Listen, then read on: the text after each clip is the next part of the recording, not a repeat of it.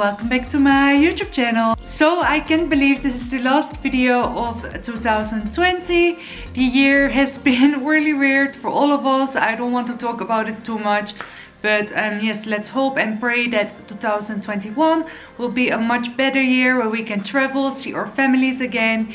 And um, yes, I really hope that. Excuse again my almost no makeup face. I have such irritated eyes.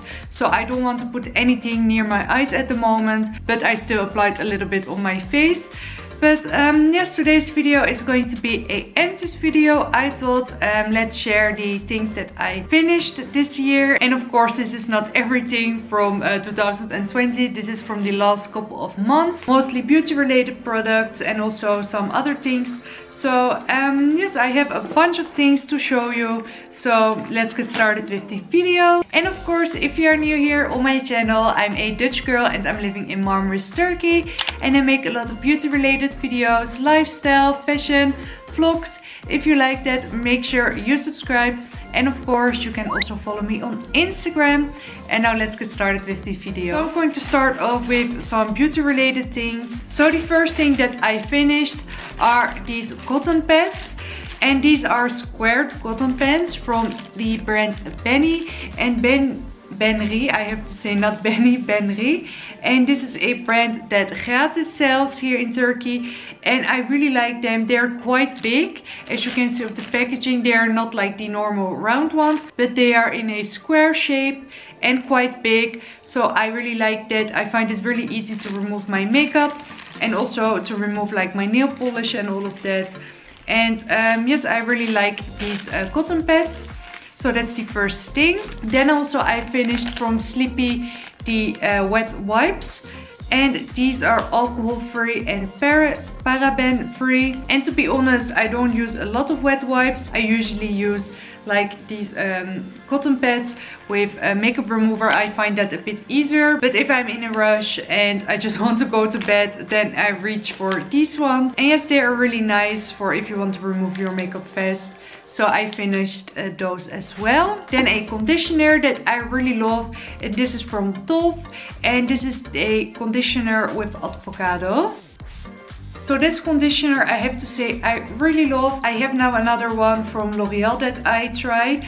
But I have to say this is probably the best conditioner I've tried. It is super soft and the smell is really nice. It's not too strong. It has like a really nice light scent. And I also tried the coconut one from this one and I just have to say that the Dove conditioners are one of the best. My hair feels all time really soft after I used it. And um, yes, I'm going to definitely repurchase this one again after I finish that one. Because I just come always back to Dove um, hair products. I just find them really good. So definitely a really nice conditioner. And if you're looking for one, um, yes, look to the Dove ones. They have a lot of different scents. So I'm sure you find one that you like. So then I cleared out my nail polishes and a few were empty and a few were just not good anymore. You can really tell if they are not good anymore. So I had a clear out. So I will just show you the ones I used up. So the first one is a pink one. This is one of my favorite um, pink shades for sure. It is from Flormar and it's the jelly look. And this is in the color Milky Pinky. I have to say this nail polish gives you really a um, gel polish effect. And this color is really nice. I like to combine this also with like a, a little bit of glitter or something like that. And uh, Flormar nail polishes I really like and especially the jelly look ones. So um, yes, I haven't bought a new one yet but definitely a beautiful shade. Then another one from Flormar that is all um, used up and this is a white shade and it's called Snow White. So this is just a really simple white shade, a really beautiful one. You only need like two coats and it's all white. And um, yes, I really like white nails. And again, Flormar nail polishes are always great. Then a few nail polishes that are just not good anymore. Um, this one is from Sally Hansen. It's a little bit more on the pricey side. And this is a beautiful red shade. But I wanted to do my nails the other day. And I'm not sure how you call it. Like the applicator or brush that you apply it with was all messed up so I can't use it anymore but um, this is in the color let me see this is in the color uh, 440 and it's a really beautiful dark red I have this nail polish for quite a while. I'm not a bit mad about it that I can't use it anymore. But yeah, a really beautiful color. And the Sally Hansen ones are just really luxurious. And the colors are really beautiful. But um, yes, I unfortunately I can't use it anymore. Then a nail polish from Wet n Wild. And again, this is just not good anymore. And it's a really nice uh, pink shade, really interesting one. And it's called um, Tickled Pink. Really nice shade and yeah, I haven't tried a lot of nail polishes from Wet n Wild. This is the only one, but yes, I quite like it. And then the last nail polish is from Rimmel. And again, this one I have for quite a while. So again, I can't use it anymore. And this is the color uh, Caramel Cupcake. And this is a really nice nude and I use this one a lot and the Rimmel nail polishes are really nice. They dry also uh, very quickly. So uh, yeah, I really like it. Now I will show you the makeup products that I all used up. And the first thing is my uh, foundation. And this is one of my favorite foundations and it's the Fit Me from Maybelline. And this is in the color 110. This foundation has a really beautiful color. It's not too yellow toned and not too pink toned. And for me that's perfect. It is also white enough for me in the winter because as you can see I'm super pale. And this one is um, yeah really great. I would say it's a medium coverage, not really full, but you can definitely build it up. And um, yes, the Maybelline um, foundations I always find really nice and the concealers as well. I tried a lot uh, in the past. Uh, definitely one of my favorite foundations. Then also a concealer from Maybelline that I all finished up as you can see.